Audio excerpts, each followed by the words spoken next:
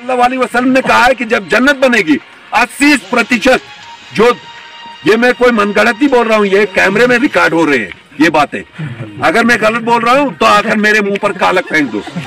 मोहम्मद अरबी सल्लल्लाहु अलैहि वसल्लम ने फरमाया है कि जब जन्नत बनेगी 80 परसेंट जो जन्नत का हिस्सा होगा, वो हमारा भारत होगा। तो इसका मतलब हम कितने खुशकिस्मत हैं कि हम इस भारत में रहते हैं। हम इस ज़मीन के साथ जुड़े हुए हैं। यहाँ बड़े बड़े उलमा रहे हैं। तो अगर आजकल कुछ लोग उन्हें इधर आकर अभी बोलना है कि हटाओ।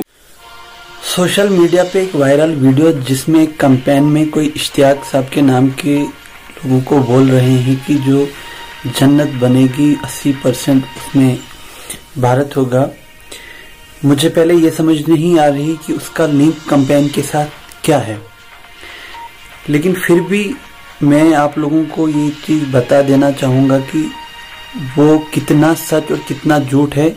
जिस तरीके से उन्होंने ये वीडियो बनाई, उसी तरीके से एक और वीडियो बनाए मैं उनको चैलेंज करता हूँ कि वो इस मसले में बिल्कुल झूठ बोल रहे हैं लोगों के साथ। इसी तरीके से एक वीडियो बनाए जिसमें वो जो इस्लाम के अथेंटिक सोर्सेज हैं, कुरान और सही हदीस, उसके रेफरेंस से हमें रेफरेंस बताए कि इस जगह पे ये लिखा हुआ है, जो उन्होंने बोला हुआ है। वरना लोगों के साथ झूठ बोलना बंद कर दे। इस दुनिया में तो उन्होंने डेवलपमेंट पे बात करनी नहीं है।